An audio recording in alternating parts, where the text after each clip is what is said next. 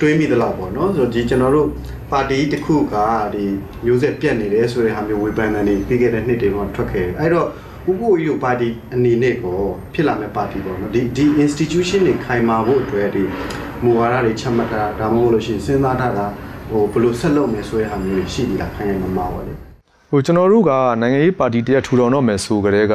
ဟိုရည်မှန်းချက်အနေနဲ့တော့ကျွန်တော်တို့မြင့်မြင့်မားမားထားတယ်ဘယ်လိုထားလဲဆိုတော့ဥပမာဖြင့် ဖြစ်လာတဲ့နိုင်ငံရေးပါတီမှာဟာလာမောင်ဖြူမရှိလို့မောင်နီမရှိလို့ဆိုတာမျိုးမဖြစ်ရလေအောင်နောက်လူငယ်တွေစက်ခံတဲ့အခါမှာလည်းပဲဟလာဒီ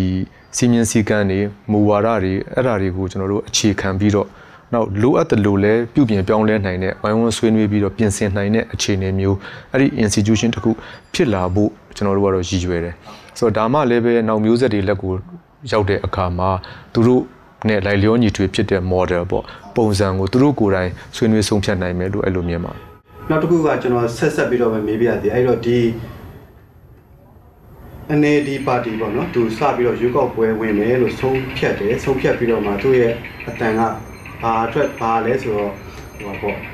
ဖွဲ့စည်းပုံအခြေခံဥပဒေကိုပြင်မယ်ဆိုပြီးတော့အနိမရည်မှန်းချက်နဲ့လာပြီးတော့သူကအဲရွေးကောက်ပွဲဝင်နေပေါ့ဆိုတော့ဥပ္ပိုလ်ကြီးတို့ရဲ့ရည်မှန်းချက်ကဘာများဖြစ်လဲ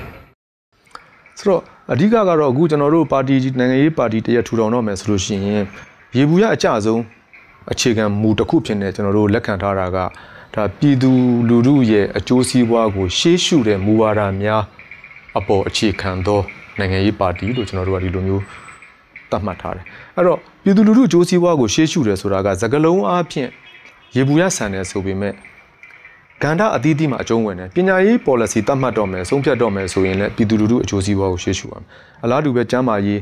လန်ဒရာအခြေခံအဆောက်အုံအခွန်အကောက်အစရှိတဲ့ပြင်အဲ့ဒီကန္တာတိုင်းကန္တာတိုင်းနဲ့ပတ်သက်ရင်ပြည်သူလူထုရဲ့အကျိုးစီးပွားကိုရှေ့ရှုဖို့သူတို့ရဲ့အသံတွေကိုပါတတ်နိုင်သလောက်ကိုစားပြုဖို့အဲ့ဒါကိုကျွန်တော်တို့ရှေ့ရှုပြီးတော့ဆောင်ရွက်သွားမှာဖြစ်ပါတယ်တရင်သာရှင်းလင်းမှုမှာဥပ္ပိုလ်ကြီးလည်းပြောခဲ့တာရှိပါတယ်ဒီပြည်သူလူမှုဘဝဖွံ့ဖြိုးဖို့ပေါ့နော်ဆိုတော့အခါကျတော့ကျွန်တော်တို့ကဒီ 88ကတော့ဒီအဲဒီဒီ NLD ကတော့ပြောတာပေါ့နော်ဒီဖွဲ့စည်းပုံအခြေခံဥပဒေကိုပြင်ဖို့ရှိတယ်အဲတော့ဒီဖွဲ့စည်းပုံအခြေခံဥပဒေကို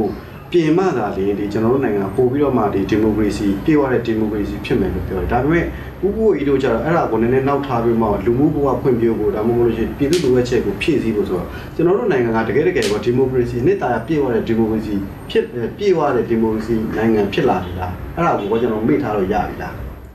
တစ်ခုချက်နိုင်ငံရေးမှာကျွန်တော်တို့ဟိုအငင်းပွားကြတဲ့အယူအဆနှစ်ခုရှိတယ်တစ်ခုကတော့ဒီ value တွေပေါ့ဆိုတော့တန်ဖိုးတွေကိုအဓိကထားတဲ့အယူအဆပေါ့နောက်တစ်ခုကတော့ဒီလက်တွေ့ကြတဲ့နိုင်ငံရေးဆုံးဖြတ်မှုချင်းကပ်မှုဆိုပြီးတော့အဲ့လိုမျိုးအယူဆတွေရှိတယ်ဆိုတော့အမှန်ကဒီနှစ်ခုကစန့်ကျင်ဘက်မဟုတ်ဘူးကျွန်တော်တို့အမြင်ရ ဆိုတော့ကျွန်တော်တို့ဒီဒီမိုကရေစီပန်းတန်ရောက်အောင်သွားဖို့ဆိုတော့ကျွန်တော်တို့ယုံကြည်တဲ့တန်ဖိုးတွေကကျွန်တော်တို့လက်လွတ်စရာမလိုဒါအခိုင်အမာစုပ်ကင်ထားရမယ်သို့တော့အဲ့ဒီတန်ဖိုးတွေကိုကြောက်အောင်သွားတဲ့နေရာမှာကာလအကန့်တကန့်စီတကန့်စီအလိုက်လက်တွေ့ကြတဲ့ချင်းကပ်မှုတွေဆုံးဖြတ်မှုတွေဖြစ်ဖို့လိုတယ်အဲ့တော့ဒီဖွဲ့စည်းပုံအခြေခံဥပဒေနဲ့ပြောရင်ကျွန်တော်တို့65နှစ်နဲ့6လထောင်ကျခဲ့တာဟာအဲ့ဒီညောင်းနှပင်ညီလာခံကိုစန့်ကျင်တာဟာအဓိကပဲ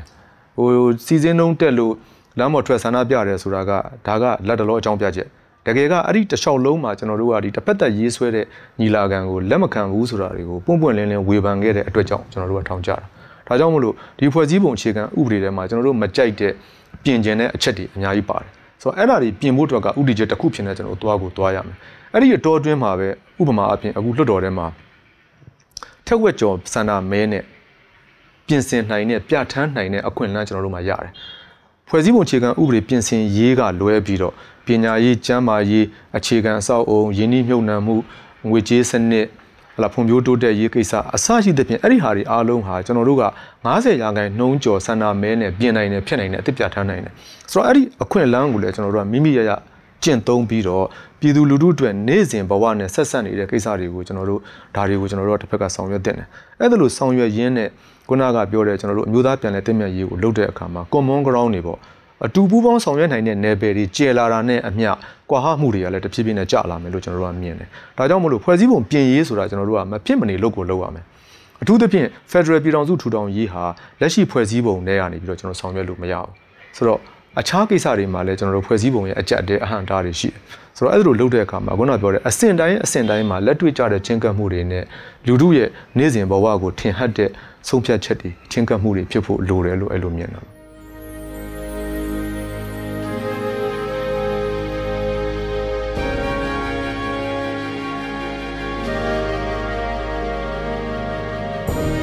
ဟုတ်ကဲ့ကျွန်တော်ရှေ့နည်းနည်းလေးဆက်သွားအောင်ပါခင်ဗျာအဲ့တော့ကျွန်တော်ဒီ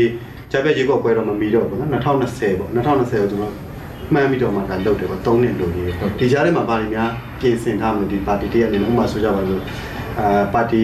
ပါတီဝင်လက်ခံတာပဲဖြစ်ဖြစ်ဒီပါတီမူဝါဒတွေချချပြတာပဲဖြစ်ဖြစ်2020အတွက်ကြိုးပြင်တာပဲဖြစ်ဖြစ်ပေါ့ပါတီများလုပ်ဖို့ရှိအောင်မယ်အခုကျွန်တော်တို့အားလုံးကိုဖိတ်ခေါ်ထားတဲ့ဟာကဒါပထမဦးဆုံးအဆင့်ပေါ့ဆိုတော့ပါတီမူဝါဒတွေပါတီဖွဲ့စည်းတည်ဆောက်ပုံတွေကိုကျွန်တော်တို့ဆုံးဖြတ်တဲ့အချိန်မှာကတည်းက အမြင်အသီးသီးကိုစူးစီးဖို့ဆိုတဲ့ရည်ရွယ်ချက်နဲ့ကျွန်တော်တို့ကအခုလာမဲ့မလ30 31မှာတွေ့ဆုံဆွေးနွေးပွဲဆိုတော့ကျွန်တော်တို့ဖိတ်ခေါ်ထားတယ်အဲ့တော့ပြည်တွင်းကရောပြည်ပကရောနောက်နယ်ဒေသတွေကပါသူတို့ရဲ့သဘောထားတွေကိုစာနဲ့ဖြစ်စေအီးမေးလ်နဲ့ဖြစ်စေလူကိုယ်တိုင်ဖြစ်စေပေါ့အဲ့လိုဆွေးနွေးပြီးတော့မှဒါပါတီအတွက်လိုအပ်တဲ့အခြေခံမူဝါဒတွေပါတီဖွဲ့စည်းတည်ဆောက်ပုံဆိုင်ရာ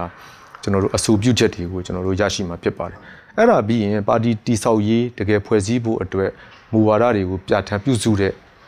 အစုအဖွဲ့တစ်ခုဒီပြောရရင်တော့ဟတ်ကိုပေါ့နော်ဟိုအမဒေသဘောမျိုးအဲ့ဒါကျွန်တော်တို့စလာမယ်ပြီးတော့မှပါတီမှတ်ပုံတင်ခြင်းရုံငန်းဖွင့်ခြင်းအဲ့ဒါပြီးတော့မှပါတီဝင်အသစ်များလက်ခံခြင်းအစရှိသဖြင့်ကျွန်တော်တို့တစ်ဆင့်ပြီးတစ်ဆင့်ကျွန်တော်တို့သွားမှာဖြစ်ပါတယ်အဲ့တော့ပြောရရင်တော့2018 2019ကတော့ကျွန်တော်တို့နယ်ဒေသအသီးသီးမှာပါပါတီတိဆောက်ရေးနဲ့ပတ်သက်တဲ့လုပ်ငန်းတွေကျွန်တော်တို့ဆောင်ရွက်သွားရမှာပါ ကျွန်တော်တို့ဒီပြီးခဲ့တဲ့အခြေအနေကိုပြန်ကြည့်မယ်ဆိုရင်ပေါ့နော်ဒီ SNL နဲ့ NLD ဟာဒါမိတ်ဖက်ဆိုပြီးတော့မှဒါသူတို့ပူပေါင်းပြီးတော့မှရဲဆွဲခဲ့တာရှိစီယုံခဲ့တာရှိတယ်တမိုင်းအစင်ဆက်ရတဲ့ဒါမျိုးသူတို့ပူပေါင်းခဲ့တာရှိတယ်အဲ့တော့ဦးကိုကိုကြီးတို့ကလည်းဒီ NLD နဲ့အင်တာမန်40တဲ့ပုံပုံမျိုးဖြစ်တော့ခါကျတော့ဒီအစ်စ်ထွက်လာမဲ့ဦးကိုဦးကိုကြီးတို့ရဲ့နိုင်ငံရေးပါတီပေါ့နော်ဒီ NLD နဲ့ကြတော့ပေါ့ဘယ်လိုမျိုးဆက်ဆံရေးရဘယ်လိုဖြစ်နိုင်ဖြစ်နိုင်လဲဟိုကျွန်တော်တို့ကဟိုရေရှည်ဒီ ဥတီချက်တစ်ခုတည်းပေါ်မှာတွားခဲ့ကြတဲ့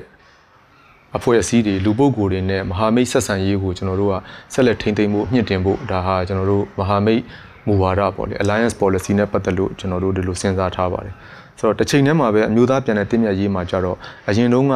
ဟိုတစ်ဖက်စီဖြစ်ခဲ့တဲ့ပုံကူများအင်အားစုများနဲ့ပါပြန်လဲတင့်မြတ်ရေးကဒါနောက်ထပ် policy တစ်ခုဖြစ်ပါတယ်ဒါကြောင့်နိုင်ငံရေးပါတီတရက်အနေနဲ့မဟာမိတ် မူဝါဒရှိမယ်ပြီးတော့မှအမျိုးသားပြန်လည်ပြန်ပြန်လည်တင့်မြတ်ရေးဆိုင်ရာမူဝါဒရှိမယ်အဲ့ဒီလိုမျိုးကျွန်တော်တို့အဆင့်ဆင့်ဆောင်ရွက်သွားမှာဖြစ်ပါတယ်